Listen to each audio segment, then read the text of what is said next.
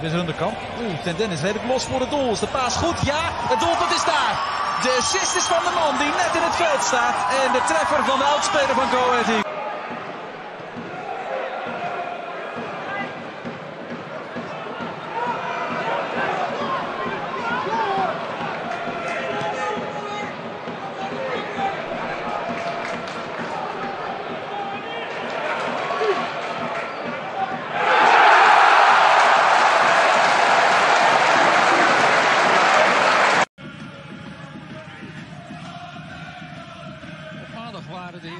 Groot en Pothuis al aanwezig. De mensen die verantwoordelijk zijn bij NSC. Hier kan het ook nog eh, 0-2 worden. Sterker nog, hier wordt het 0-2 door Tendem. Wat een plaatje. Dit is een eh, weliswaar hele vrijstaande spits. Maar die laat wel zien hoe je technisch perfect een Bondscoach. Benieuwd wie dat wordt.